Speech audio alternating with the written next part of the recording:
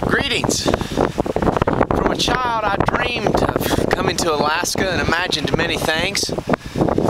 Hiking above the tree line with Denali in the distance.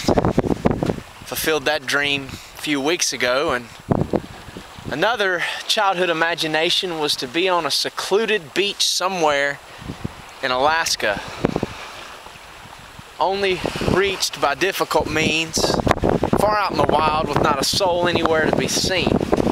Today, that dream has been fulfilled. I am here at Saltery Cove on Kodiak Island. It was very difficult getting out here, about 25 miles, and thankfully I had one of these. Very rough road up and over a mountain pass, down through marshes, numerous river crossings. And now I'm here. There's not a soul to be seen. Oh, the majesty of God's creation. Only a fool could say there is no creator. It's a cold day here, but all tis pleasant. A herd of buffalo is grazing just above this hill up here.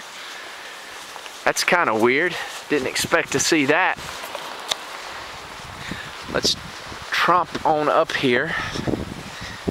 Tomorrow we'll leave Kodiak and head back for the mainland. Very soon it's time to pack up and start the drive back to the 48.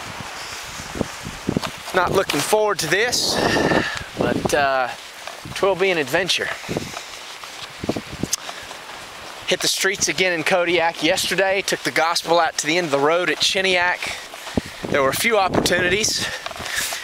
One burly Alaskan was working in the front yard of his very secluded and isolated home out there in Chiniak. We took a gospel tract to him. He said, I'm not much of a believer, but I promise you I'll read this. I consider it a divine appointment at the end of the world.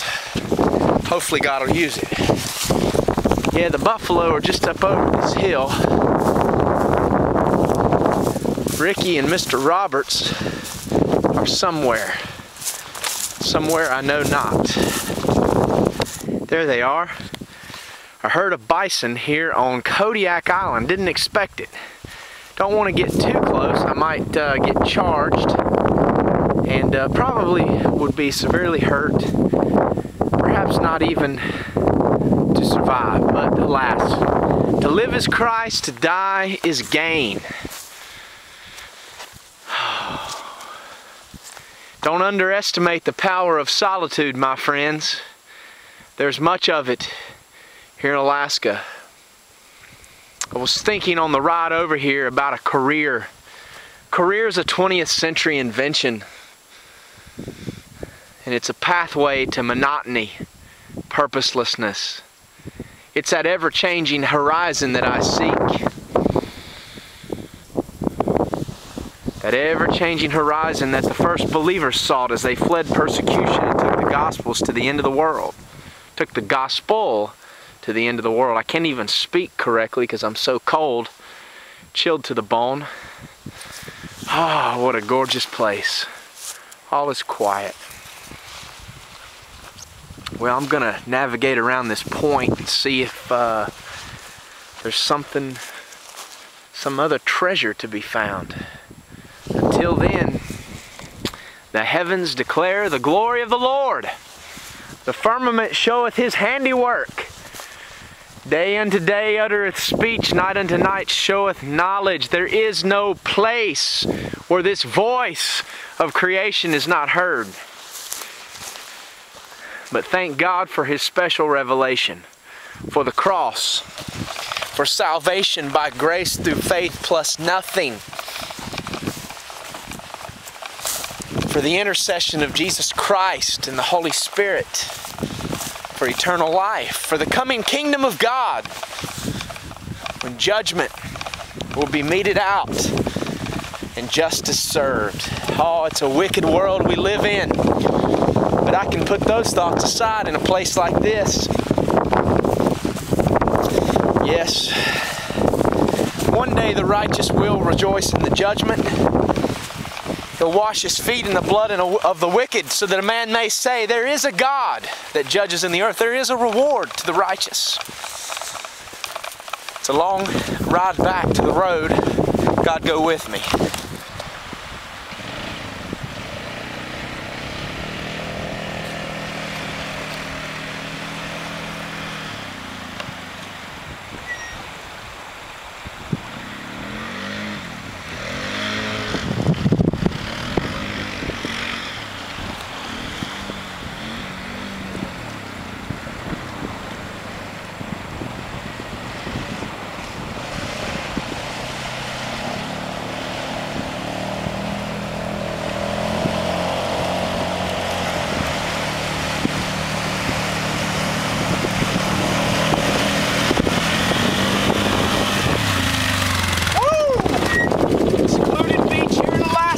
Kodiak Island.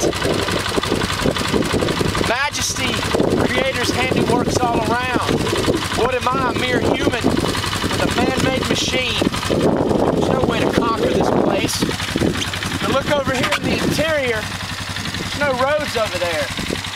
You only walk in, and dare, few dare even try. Some large grizzly tracks back there. It's been a blast out here today.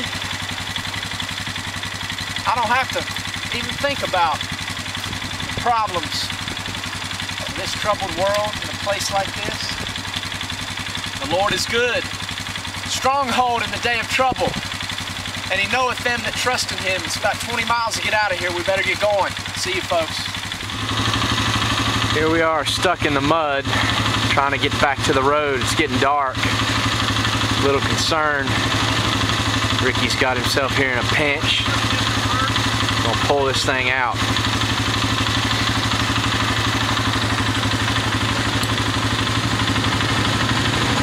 There they go.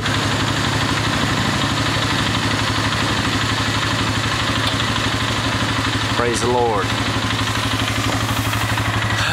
Wild country. I'm savoring these moments. I know that weeks from now I'll be sitting in my office back in Vale, North Carolina wishing I could be here. But last the scriptures say to, in whatsoever state we are, therewith to be content. Contentment shouldn't lie in the transient things of this world, but in the uh, permanence of our justification, our sanctification, and our ultimate glorification in Christ Jesus. Hallelujah.